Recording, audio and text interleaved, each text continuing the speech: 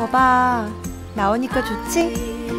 캠핑은 아이드젠, 차박도 아이드젠.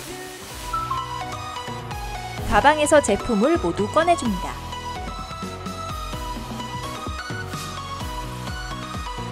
탄력 밴드를 따라 알맞은 위치에 꽂아 뼈대를 조립해줍니다.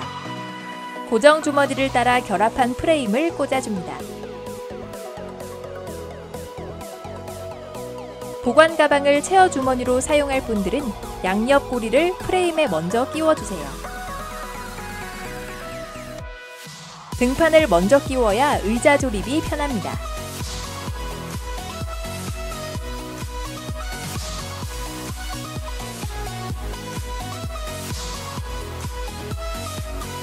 의자에 앉아 사용하시면 됩니다.